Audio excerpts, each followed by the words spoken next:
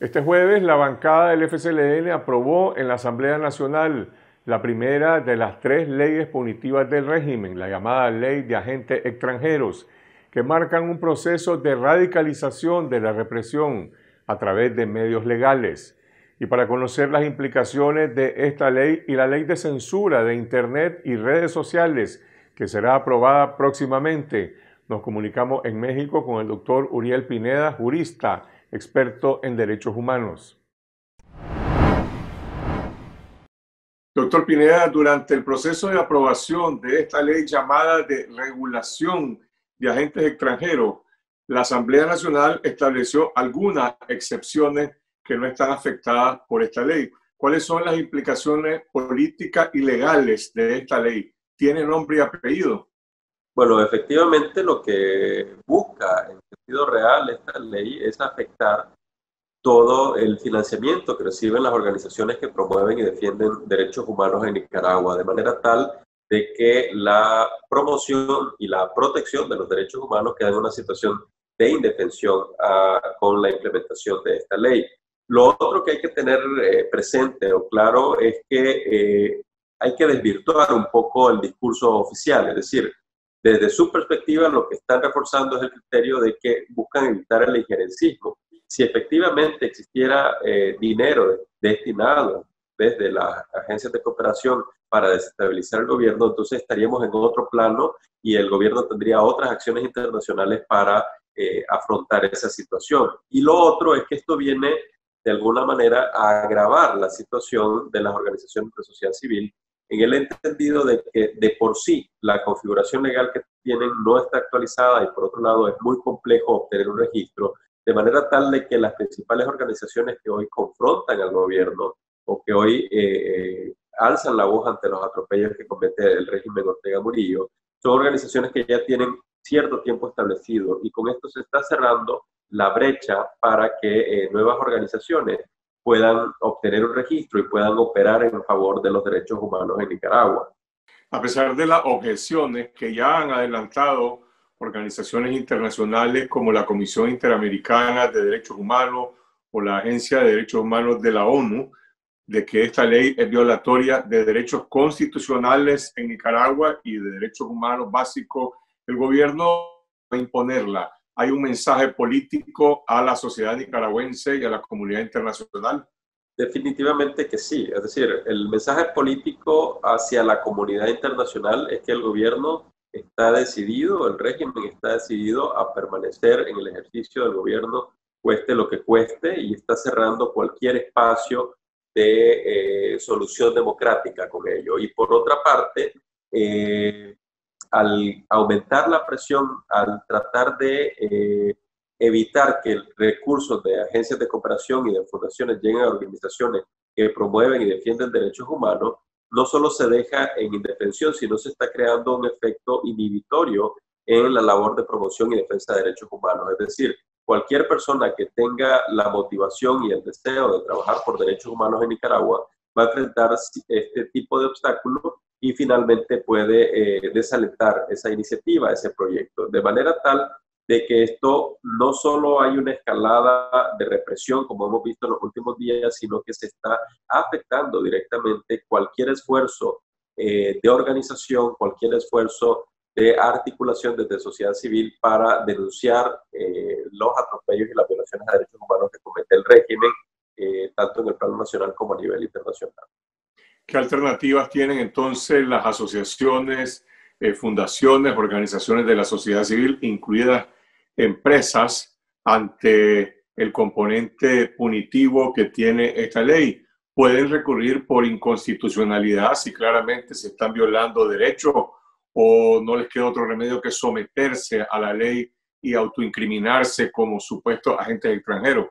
Bueno, aquí eh, la alternativa legal efectivamente puede ser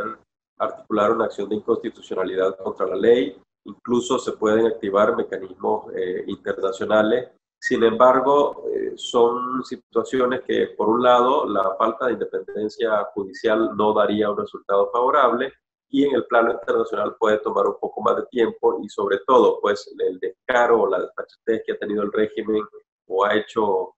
se ha hecho de oídos sordos ante las recomendaciones y observaciones de instancias internacionales, no lo hace tal vez un mecanismo eficaz. Lo que yo haría un llamado formal y serio a las organizaciones de sociedad civil, al sector empresarial, a debatir eh,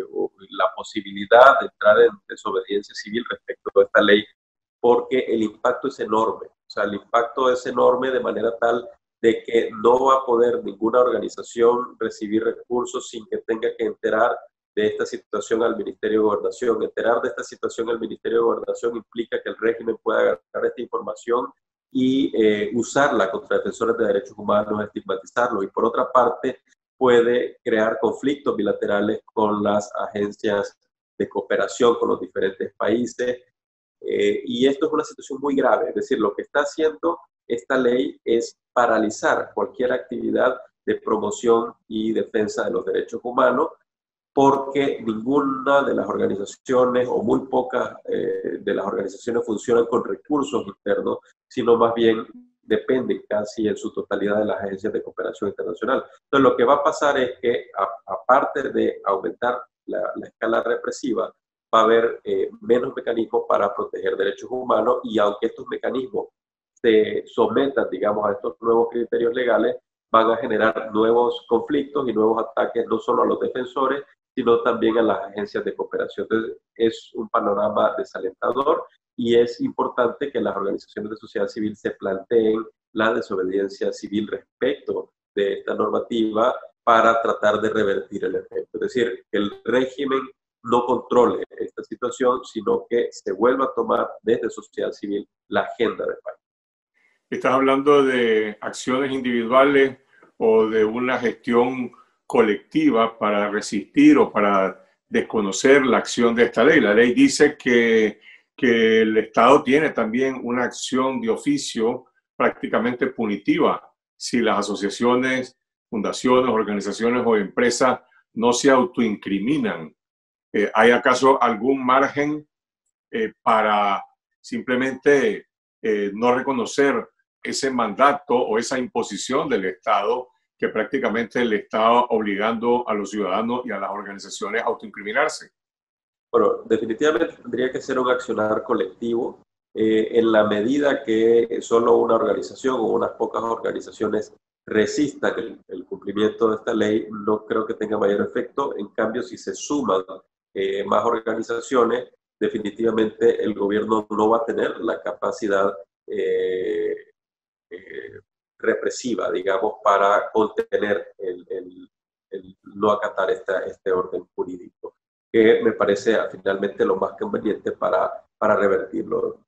toda vez que eh, en el plano nacional jurídico no, no existe mayor posibilidad de la falta de independencia judicial y en el plano internacional también se ha hecho de oídos sordos el rey. La otra ley eh, llamada de ciberdelitos que está en proceso de eh, dictamen o simplemente de aval por parte de la planadora del FCLN en la Asamblea y seguramente será aprobada la próxima semana, habla de una serie de factores técnicos relacionados con, el ciberespacio, pero la columna vertebral de esta ley es establecer el control o la censura de la información cuando tipifica como delito la llamada información falsa o tergiversada e impone penas de dos a cuatro años. Eh, ¿Tiene esto precedente en otras legislaciones? ¿Quién va a determinar qué es información falsa para incurrir en ese delito? Aquí hay como varios elementos. El primero es una actualización del, del catálogo del Código Penal sobre aspectos que no estaban regulados.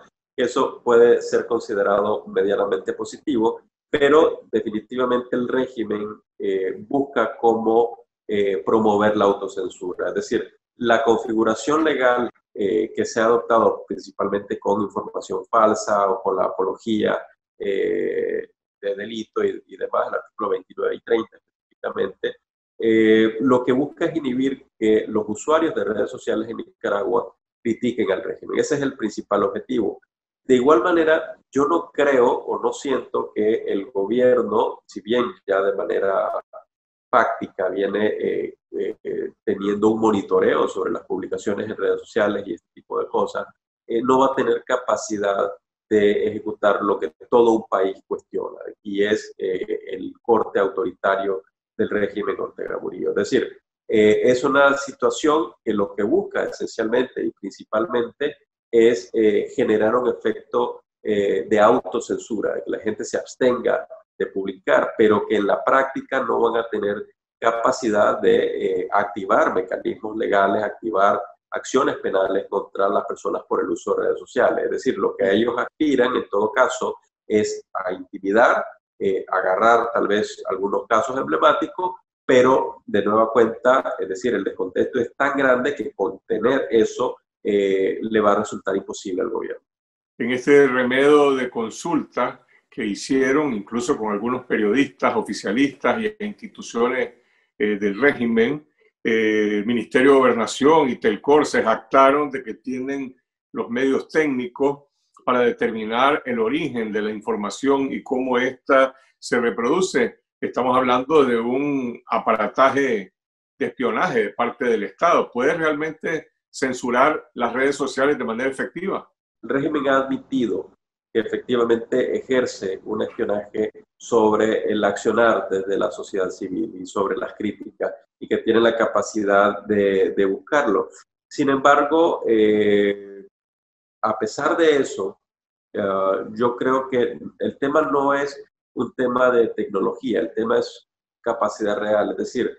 recientemente se reveló la información de, la cantidad eh, enorme de personas que han sido dejadas en libertad porque simplemente el Estado no tiene capacidad para mantener a tantas personas privadas de libertad eh, y entonces es un contexto eh, muy complejo en virtud del cual el régimen, por evitar un costo político de incrementar el número de presos políticos, no va a hacerlo, o sea, no, no puede hacerlo desde la perspectiva material. No es tanto saber quién dijo o cómo lo dijo, es materializar la sanción penal respecto de eh, este tema, ¿no? Es decir, eh, lo que busca, de nueva cuenta, y quiero reiterarlo, es intimidar, es promover la autocensura, pero de, alguna manera, aunque pueda tener elementos tecnológicos que pueda identificar quién dijo que, no tiene la capacidad real para encarcelar a medio país, por decirlo de alguna manera. la tercera ley, que más bien es una reforma constitucional que establecería la pena de cadena perpetua supuestamente para castigar crímenes atroces eh, y crímenes de odio abre otro tipo de interrogantes sobre cómo se definen estos crímenes de odio, por la pena por una parte y por el otro lado la tipificación de ese delito que ya prácticamente el presidente Ortega lo definió y lo definió asociado a, por una parte, crímenes atroces,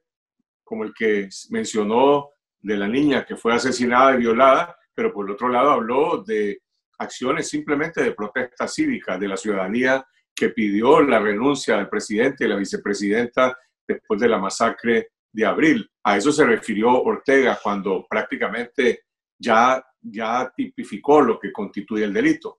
El tema de, eh, de la cadena perpetua es, una regresión enorme en materia de derechos humanos desde los años 50, digamos, es, es una, una teoría que ha sido eh, superada porque se considera desde los derechos humanos que las personas tienen derecho a la reinserción social. Es decir, una vez que se entra en conflicto con la ley, el régimen de privación de libertad debe estar encaminado a formar a la persona y a dotarla de capacidades y eh, a darle un tratamiento a efectos de que eventualmente se incorpore a la sociedad. Y esto es un régimen, digamos, de reclusión que ha sido adoptado por Nicaragua y consecuentemente no es, no es solo una reforma constitucional, es muchísimo más profundo porque Nicaragua ya había superado esto. Esto representa una regresión de más o menos 70 años en eh, la política criminal del país. Entonces es un hecho muy grave, pero además es contrario a compromisos internacionales. No solo es una reforma eh, a la Constitución, sino que el artículo 46 de la Constitución Política establece o reconoce en el mismo nivel constitucional una serie de tratados internacionales que reconocen al mismo tiempo eh, el derecho de las personas a la reinserción social una vez que han entrado en conflicto con la ley. Entonces, es una regresión en materia de derechos humanos de 70 años, pero que además eh, hay como un vacío, es decir, desde la perspectiva del derecho internacional de los derechos humanos en los crímenes de odio están orientados con temas como el feminicidio, femicidio,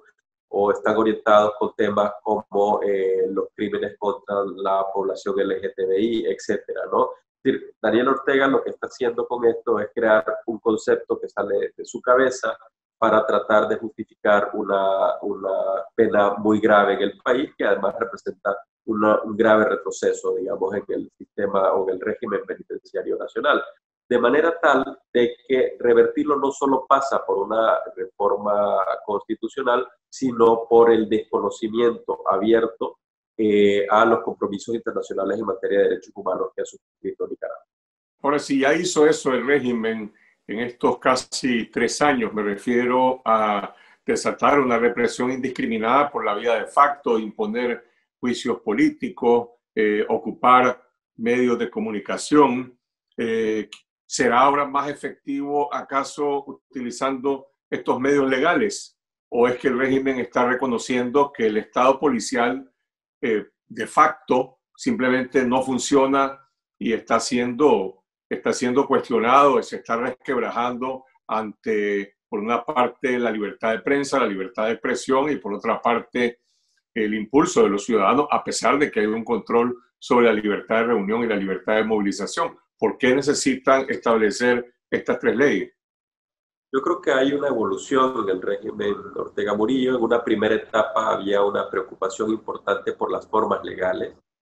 Esa preocupación se fue desvaneciendo y desapareció, yo diría que por completo en 2018 y empezaron a tomar acciones sin forma legal. ¿Por qué hoy necesitaría una forma legal para hacer cosas que de hecho viene haciendo? La respuesta para mí es que trata de jugar con la intimidación en el ideario colectivo, es decir, el tratar de, crear una cadena perpetua, el decir que van a apresar a la gente por eh, lo que publica en redes sociales, lo que viene a infundir es una especie de miedo, una especie de inhibición para lograr el efecto que desean, y es que no se logre articular un movimiento opositor unificado o que eh, estos movimientos eh, opositores al régimen o que denuncian las graves violaciones a derechos humanos vayan perdiendo impacto. Es decir, yo no siento que sea una pretensión real, sino más bien una amenaza al, eh, al ideario colectivo, al, al inconsciente colectivo, y volver a retomar desde el miedo, o sea, al mejor estilo fascista, el eh, control del país que prácticamente pues, no lo tiene. ¿Puede ser efectivo el miedo en las circunstancias actuales de Nicaragua? Nosotros estamos en víspera de un año electoral y en un año electoral se esperaría que hubiese cambio. Si se cierran los espacios de nueva cuenta, entonces la posibilidad de que ocurra una nueva explosión social, se incrementa. Es decir, la, la, demanda y expectativa de cambio de la población ahí está. El medio son las elecciones. Si él no, eh, o ellos, perdón, no acceden a este tipo de cambio, entonces la, la, la, amenaza es latente. Y esto es lo que explica, digamos, que estén adoptando este tipo de medidas, mantener el miedo en la población, pero saben que eso no es algo sólido.